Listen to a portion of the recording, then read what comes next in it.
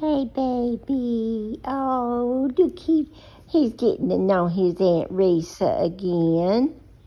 This is the first time I ever got to stay with him. Hey, baby. Hey, baby, We're just gonna hang out? Yes, we are. Are you pouting because your mama left you while ago? Look.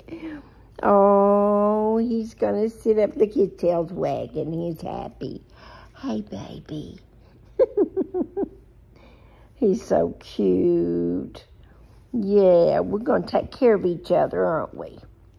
Yeah, he's wondering what on earth is this thing, rolling thing on my face.